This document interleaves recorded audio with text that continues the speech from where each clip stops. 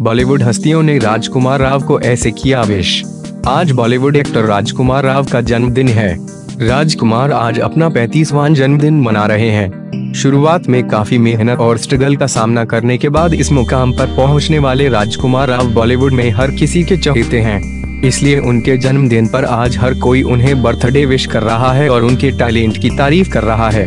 देखते हैं राजकुमार राव को किस किसने विश किया है। फ़िल्म बरेली की बर्फ़ी को स्टार आयुष्मान खुराना ने ट्विटर पर लिखा। जन्मदिन की बधाई राजकुमार राव। बहुत सारा प्यार और खुशियाँ। वहीं उनकी गर्ल फ्रेंड पत्रलेखा ने भी इंस्टाग्राम पर एक प्यारा सा पोस्ट लिखकर राजकुमार राव को जन्मदिन की बधाई दी। साथ ही उन्होंने राजकुमार की एक तस्वीर पोस्ट करते हुए लिखा, जन्मदिन मुबारक हो। मेरे सबसे कीमती, मेरे प्यारे राजकुमार राव।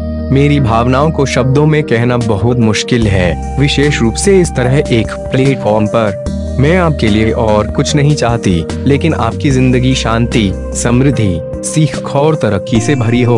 वहीं एकता कपूर ने भी ट्विटर कहा, हैप्पी बर्थडे राज। तुम मेरे लिए हमेशा से खास हो। तुम दुआओं में हो। तुम वो सब मिले, जो तुम चाहते हो। तुम मेहनती हो और बहुत हकदार भी।